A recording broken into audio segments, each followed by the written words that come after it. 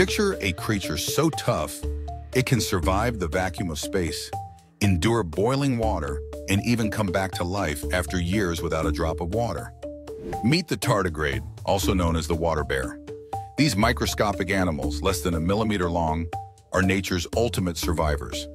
Tardigrades achieve their resilience through a process called cryptobiosis. When faced with extreme conditions, like intense heat, freezing cold, radiation, or dehydration, tardigrades curl into a dry, dormant ball called a tun.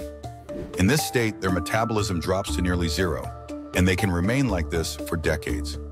In 2007, scientists sent tardigrades into space, exposing them to cosmic radiation and the vacuum of outer space. Amazingly, many survived and even reproduced once back on Earth. Their secret lies in unique proteins that shield their DNA from damage.